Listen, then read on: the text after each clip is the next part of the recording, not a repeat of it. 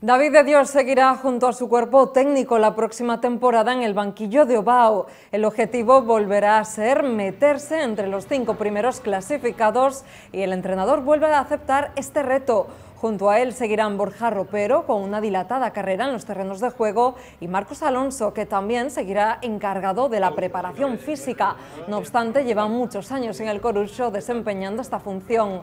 No ha sido una temporada sencilla para el Corucho que conseguía la permanencia a falta de una jornada un curso deportivo de altibajos en el que los vigueses estuvieron muy cerca de meterse en el playoff, pero también cerca de descender.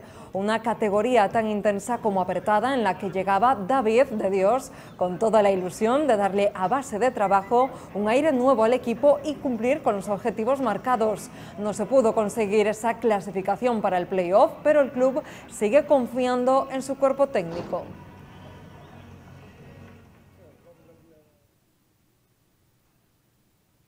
Pues con el Corucho nos vamos. Recuerden que tienen más información deportiva como siempre en Radio Vigo y también en nuestra página web actualizada radiovigo.com.